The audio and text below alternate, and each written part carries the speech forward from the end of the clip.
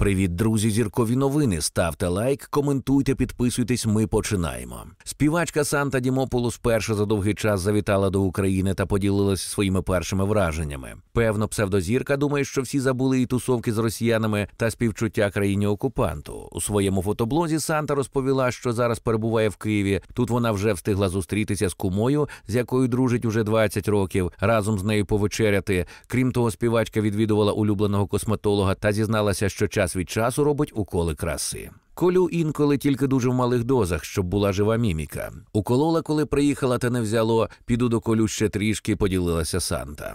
А що ви думаєте з цього приводу? Ставте лайк та пишіть свої думки в коментарях. Крім того, знаменитість вирішила пройти обстеження організму. Зокрема, виявила, що має проблеми з рівнем стресу і поділилася загальними враженнями від переїзду до рідного міста. Чудово, це ж моє рідне місто. Звісно, бувають різні емоції, адже зараз все інакше, але тут я відчуваю себе вдома. Та коли здала аналізи на кортизол, виявилося, що підвищений вдвічі, тобто фоново все одно є переживання, написала Санта. Поза цим знаменитість зробила собі шопінг та придбала речей від українських дизайнерів. Цікаво, а навіщо вона повернулася? Її тут хтось чекав. Маю великі сумніви щодо цього. Зрадників та людей, які хочуть сидіти на двох стільцях, точно ніхто в країні бачити не хоче. Чи можливо вона вже забула, як розкішно гуляла на дні народження Лоліти Османової, дочки російського олігарха Ельдара Османова в Монако? І потім також розкішно оправдовувалася, і це на другий рік повномасштабної війни. І після такого вона ще сміє повертатися до Києва. Таких як вона вона незалежно від її фінансових спроможностей на кордоні потрібно зупиняти і повертати в інший бік, а саме в бік країни-агресора Росії. Ще буде доречним нагадати її досить свіжу публікацію, де Санта підтримала та поспівчувала росіянам після теракту в Крокусі, але чомусь вона не співчуває українському народу, який переживає подібні теракти рук Путіна кожного дня.